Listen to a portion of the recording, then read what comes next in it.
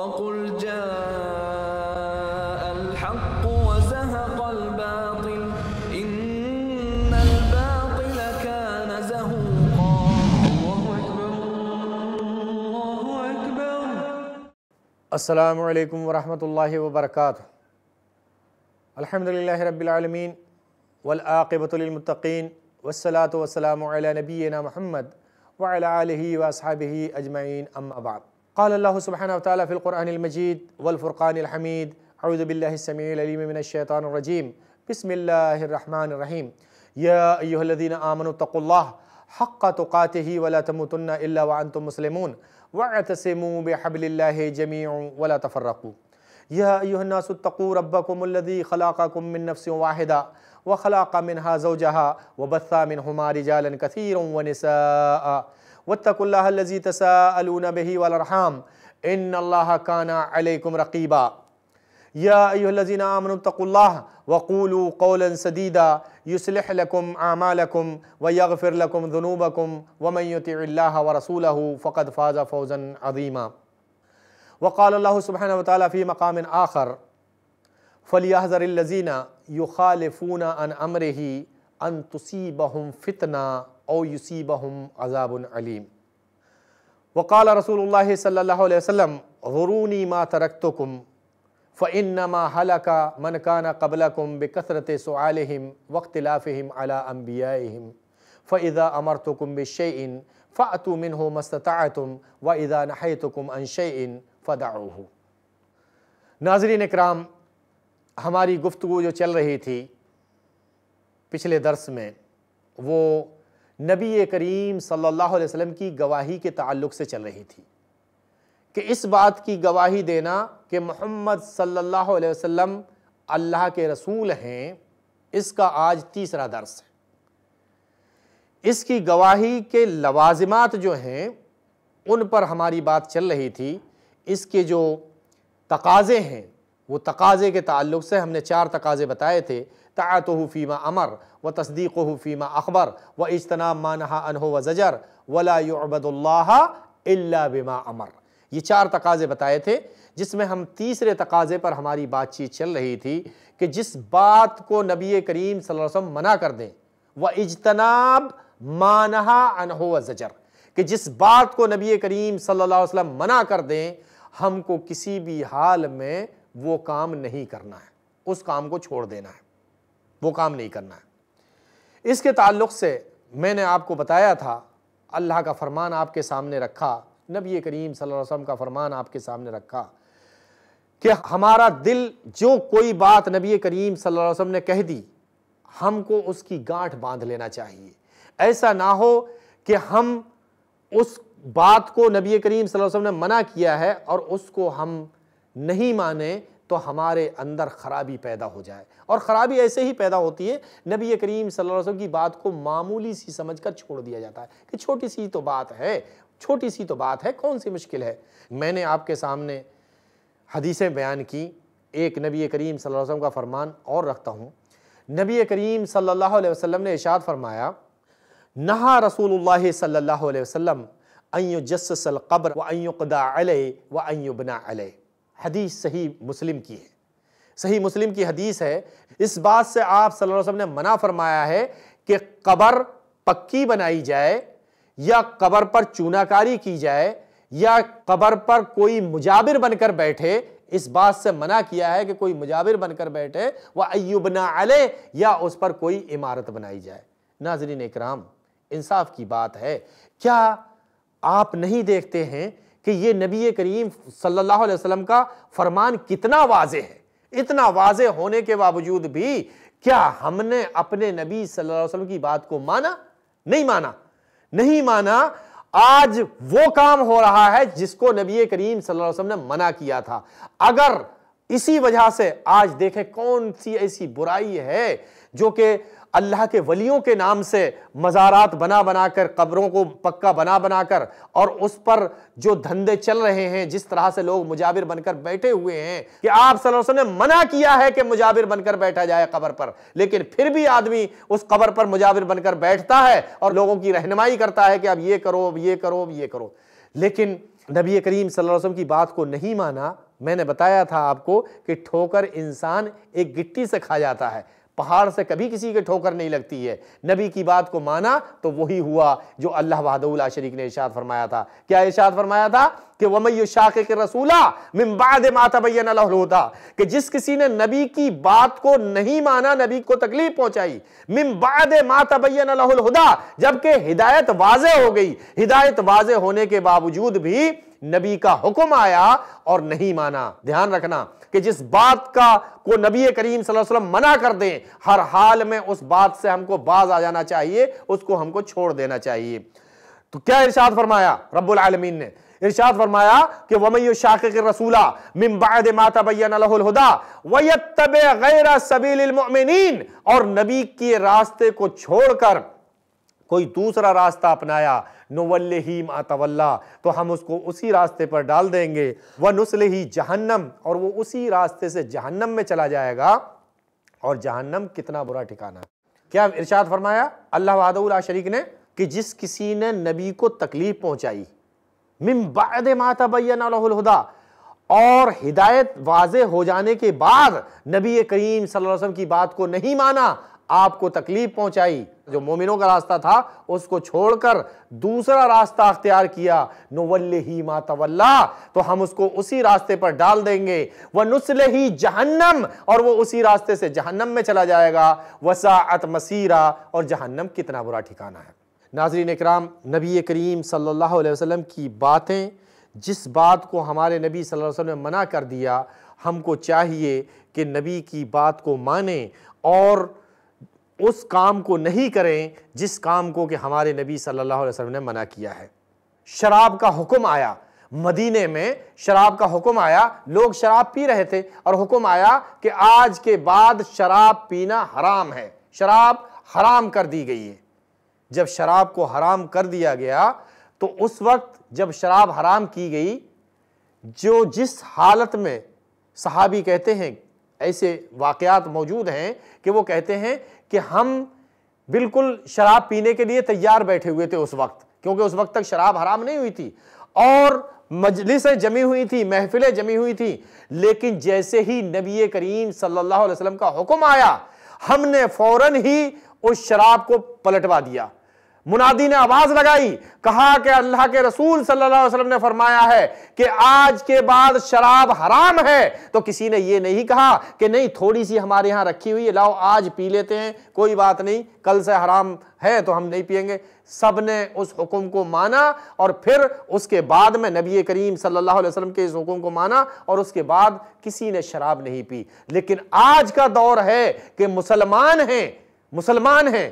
اور اپنے ایمان کی گواہی بھی دیتے ہیں کہ ہم مسلمان ہیں اور پھر یہ بھی کہتے ہیں کہ ہم صحیح ہیں، ہم حق پر ہیں، لیکن آپ کو مل جائیں گے، شراب پیتے ہوئے شراب پیتے ہیں۔ ان کو کوئی غم اور فکر ہی نہیں ہے کہ نبی کریم صلی اللہ علیہ وسلم نے اس کو منع کیا ہے، یہ منحیات میں سے ہے، اس کو منع کیا ہے۔ جیسے جوا حرام ہے، ویسے ہی شراب بھی حرام ہے۔ اس کو شراب کو منع کیا، اور ایک حدیث میں تو ہے کہ نبی کریم صلی اللہ علیہ وسلم نے ارشاد فرمایا کہ تین لوگ جو ہیں وہ جنت میں داخل نہیں ہو سکتے۔ کون کون؟ نمبر ایک، ماں باپ کی نافرمانی کرنے والا. نمبر دو، لگاتار شراب پینے والا. نمبر تین، احسان کر کے جتانے والا. دوسری چیز یہ بھی ہے کہ لگاتار شراب پینے والا یہ تو جنت میں جائے گا ہی نہیں. لیکن ہمارے یہاں کیا ہوتا ہے؟ کوئی بات نہیں، پارٹی ہے، کوئی بات نہیں. آج ایک دن ہے، خوشی کا دن ہے. چلو پی لو، کون سی مشکل ہے؟ نعوذ باللہ، یہ نبی کریم صلی اللہ علیہ وسلم کی نافرمانی ہے. وَإِجْتَنَابْ مَانَهَا عَنْهُ وَزَجَرْ۔ اگر ہم نے اس بات کی گواہی دی ہے کہ محمد صلی اللہ علیہ وسلم اللہ کے رسول ہیں، تو ہمارے لیے یہ لازم ہے کہ جب نبی کریم صلی اللہ علیہ وسلم کا فرمان ہمارے سامنے آ جائے کہ اس چیز کو نبی کریم صلی اللہ علیہ وسلم نے منع کیا ہے، تو ہم کو فوراً ہی اس چیز سے رک جانا چاہیے۔ اب ہم اس کام کو، ہم کو کرنا نہیں ہے۔ چاہے کچھ بھی ہے، چاہے دنیا کہتی رہے، ایسا کام کر لو، چاہے کوئی کہے ایک بار کر لو، چاہے کوئی کہے خوشی ہے، اس میں کر لو۔ لیکن آج میوزک کو نبی کریم صلی اللہ علیہ وسلم نے منع کیا ہے۔ لیکن میوزک شادیاں تو دور کی بات ہے۔ شادیوں میں تو لوگ بجاتے ہی ہیں۔ دینی محفلوں میں بھی نعوذ باللہ آج میوزک بج رہا ہے۔ اور میوزک ایسے ہی نہیں، آپ دیکھیں کہ نعتوں پہ نعوذ باللہ اسلام کے منہ پر کس طرح سے یہ مسلمان کالک لگاتا ہے کہ نعتیں پڑھی جا رہی ہیں اور نعتیں پڑھی جا رہی ہیں اور میوزک کے ساتھ نعتیں پڑھی جا رہی ہیں، نعوذ باللہ۔ جس چیز کو نبی کریم صلی اللہ علیہ وسلم نے حرام کر دیا، جس کو منع کر دیا، ہم مسلمان ہیں، ہم کو اللہ کا خوف ہونا چاہیے، ہم کو ڈرتے رہنا چاہیے۔ نبی کا فرمان ہے، نبی کے فرمان سے ہم کو انحراف نہیں کرنا چاہیے، ہم کو منہ نہیں موڑنا چاہیے۔ وہ اجتناب مانہا انہو و زجر جس بات کو نبی کریم صلی اللہ علیہ وسلم منع کر دیں، ہم کو چاہیے کہ اس بات سے باز آ جائے آئیے اگلی چیز، نمبر چار۔ چوتھی چیز کیا ہے؟ ولا يعبد اللہ الا بما امر یہ بہت ہی اہم اور بہت ہی ضروری چیز ہے۔ آج کیا ہوتا ہے ہمارے ہاں کہ اگر ذرا سی بات آئی، آپ قرآن بیان کریں، آپ حدیث بیان کریں، کہیں اللہ نے فرمایا ہے، رسول اللہ نے فرمایا ہے، پورا قرآن آدمی کے سامنے کھول کے رکھ دے ایک آدمی دھیرے سے کان میں کہہ دے ارے یہ تو فلاں جگہ سے آیا ہے، یہ فلاں مسلک کا سب چھوڑ کے بھاگ جاتے ہیں۔ واقعہ بڑا مشہور ہے۔ آیت الکرسی کے فائدے ہم کو کس نے بتائے تھے؟ آیت الکرسی کے فائدے ہم کو کس سے ملے تھے؟ ہم کو آیت الکرسی کے فائدے شیطان نے بتائے تھے۔ پتا ہے آپ کو؟ کیسے بتائے تھے؟ شیطان نے بتایا تھا، وہ بڑا مشہور واقعہ ہے کہ ابو حریر رضی اللہ تعالیٰ عنہ کو نبی کریم صلی اللہ علیہ وسلم نے کچھ غلہ رکھا ہوا تھا، اس کو رکھانے پر رکھا، کہا کہ آپ اس کی دیکھ بھال کریں۔ اور شیطان آیا۔ ابو حریر رضی اللہ تعالیٰ عنہ نے اس کو پکڑ لیا۔ اس نے کہا کہ بھائی، آج مجھے تو چھوڑ دے، میرے بچے بھوکے ہیں، میں بہت پریشان ہوں اور مجھے تو چھوڑ دے۔ تو ابو حریر رضی اللہ تعالیٰ عنہ نے چھوڑ دیا، وہ چلا گیا۔ ابو حریر رضی اللہ تعالیٰ عنہ نے نبی کریم صلی اللہ علیہ وسلم کو بتایا، کہا، اے اللہ کے رسول، آج ایک شخص آیا تھا، اس نے چوری کری۔ میں نے جب اس کو پکڑا تو وہ اپنے بچوں کے لیے کہنے لگا، میرے بچے بھوکے ہیں اور چھوڑ دے مجھے، میں نے چھوڑ دیا۔ آپ صلی اللہ علیہ وسلم نے کہا، ٹھیک ہے، پھر سے ذرا دیکھ بھال رکھنا اور دھیان رکھنا ہو سکتا ہے، وہ پھر سے آئے۔ اب وہ دوبارہ آیا، پھر ابو حریر رضی اللہ تعالیٰ عنہ نے پکڑ لیا، پکڑا اور کہا کہ آج میں تجھے نہیں چھوڑوں گا۔ اس نے کہا کہ دیکھ بھائی، بہت مشکل ہے، بہت پریشانی ہے اور آج کچھ بھی میرے گھر پہ کھانے کے لیے نہیں، اس نے پریشانیاں بتائی۔ ابو حریر رضی اللہ تعالیٰ عنہ نے پھر چھوڑ دیا۔ پھر رسول اللہ صلی اللہ علیہ وسلم کو جب بتایا دوسری بار، تو پھر آپ صلی اللہ علیہ وسلم نے کہا کہ ہوشیار رہنا۔ تیسری بار پھر آیا۔ ابو حریرہ رضی اللہ تعالیٰ عنہ نے پکڑ لیا اس کو، کہا، آج تو میں تجھے بالکل بھی نہیں چھوڑوں گا، کیونکہ تو چور ہے، تو ہر بار مجھے دھوکہ دے کے چلا جاتا، آج نہیں چھوڑوں گا۔ ابو حریرہ رضی اللہ تعالیٰ عنہ نے جب اس کو پکڑا، اس نے کہا اچھا نہیں چھوڑا گا تو اچھا میں تجھے ایک ایسی بات بتا دیتا ہوں، اس کو پڑھ لینا، شیطان کبھی نہیں آئے گا تیرے پاس۔ اس نے کہا، کیا بات ہے؟ شیطان نے کہا، تو آیت الکرسی پڑھ لینا، شیطان کبھی نہیں آئے گا۔ جا کے ابو حریر رضی اللہ تعالیٰ عنہ نے رسول اللہ صلی اللہ علیہ وسلم کو بتایا اور کہا، اے اللہ کے رسول، اے اللہ کے رسول، آج تو اس نے یہ بات کہی ہے۔ اے اللہ کے رسول، آج اس نے مجھ سے یہ بات کہی ہے۔ کہا، کیا کہا؟ کہا، اس نے کہا کہ تو آیت الکرسی پڑھ لینا، شیطان کبھی نہیں آئے گا۔ ایسی بات وہ بتا گیا ہے۔ آپ صلی اللہ علیہ وسلم نے کہا پتا ہے تجھے وہ کون تھا؟ کہا اللہ کے رسول، مجھے تو پتا نہیں ہے کون تھا۔ آپ صلی اللہ علیہ وسلم نے کہا، وہ شیطان تھا، شیطان۔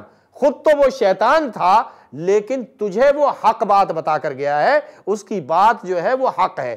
تصدیق شیطان کی بات کی تصدیق کس نے کی؟ نبی کریم صلی اللہ علیہ وسلم نے۔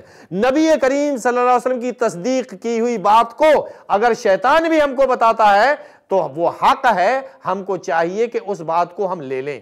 اس بات کو نہیں چھوڑیں۔ نبی کریم صلی اللہ علیہ وسلم کی تصدیق کی ہوئی بات ہے تو ہم کو چاہیے کہ اس کو ہم لے لیں، اس پر عمل کر لیں۔ تو یہ اصول ہے کس چیز کا؟ دین کا۔ آج ہمارے ماحول میں کیا ہو رہا ہے؟ آج ہمارے ماحول میں بالکل اس کا الٹا ہو رہا ہے۔ آج وہ کام کیا جاتا ہے۔ نبی کریم صلی اللہ علیہ وسلم نے اشارت فرمایا، من احدثا فی امرنا ہادا ما لیسا منہو فہو رد کہ جس کسی نے ہمارے لائے ہوئے اس دین میں کوئی نئی بات بڑھائی، وہ بات بڑھائی جس کا حکم ہم نے نہیں دیا ہے من احدثا فی امرنا ہادا ہمارے اس حکم میں، ہمارے ہی اس لائے ہوئے دین میں، ہمارے اس حکم میں من احدثا فی امرنا ہادا ما لیسا منہو، جو اس میں پہلے نہیں تھی، ایسی بات بڑھائی، فہو رد، تو وہ رد کر دی جائے گی، ایسی چیز مردود ہے۔ ولا يعبد اللہ الا بما امر، ہم کو کوئی بھی عبادت اس وقت تک نہیں کرنی ہے، جب تک کہ حکم نبی کریم صلی اللہ علیہ وسلم کا نہیں آ جائے گا۔ اسی طرح سے نبی کریم صلی اللہ علیہ وسلم نے اشارت فرمایا، من عمل عملا لیسا علیہ امرنا فہو رد.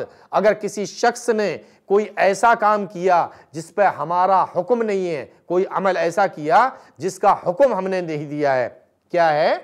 دھیان سے سننا، ناظرین، میں آپ کو جو بتا رہا ہوں، یہ چوتھی چیز بتا رہا ہوں، کوئی بھی عبادت اس وقت تک نہیں کی جائے گی جب تک کہ حکم نبی کریم صلی اللہ علیہ وسلم کا نہیں آ جائے گا۔ عبادت کے لیے اگر ہم کوئی عبادت کرنے جا رہے ہیں تو ہم کو چاہیے کہ ہم اس میں حکم دیکھیں کہ نبی کریم صلی اللہ علیہ وسلم کا حکم ہے یا نہیں ہے۔ اگر حکم ہے تو وہ عبادت کی جائے گی، اور نہیں ہے تو نہیں کی جائے گی۔ اس کی وجہ کیا ہے؟ اس کی مین وجہ یہ ہے کہ ہمارا دین مکمل ہو چکا ہے۔ اللہ وحدہ اللہ شریک نے اس کی تکمیل کی پر مہر لگا دی ہے کہ دین مکمل ہے اور وہ دین مکمل آج نہیں ہوا تھا۔ اب سے چودہ سو سال پہلے مکمل ہوا تھا وہ دین اور چودہ سو سال پہلے مکمل ہوا تھا۔ اللہ وحدہ اللہ شریک نے اشارت فرمایا تھا، الیوم اکمل تو لکم دینکم و اتمم تو علیکم نعمتی و ردی تو لکم الاسلام دینا۔ آج کے دن میں نے تمہارا دین مکمل کر دیا۔ و اتمم تو علیکم نعمتی، جو نعمتیں تم پر اتارنا تھی وہ اتار دیں۔ و ردی تو لکم الاسلام دینا مدینہ اور میں اسلام دین سے راضی اور خوش ہو گیا۔ یہ اللہ کا کلام ہے۔ اللہ کا کلام یہ آج نہیں اترا تھا۔ یہ اب سے چودہ سو سال پہلے کی بات ہے۔ اور جب نبی کریم صلی اللہ علیہ وسلم نے اللہ کے کی مہر لگانے کے بعد اس دین کو مکمل کر دیا تھا، تو اب ہم وہی کام دین میں کریں گے جس کا حکم ہمارے نبی صلی اللہ علیہ وسلم نے ہم کو دیا ہے۔ اگر حکم ہمارے نبی کا نہیں آئے گا، کیوں؟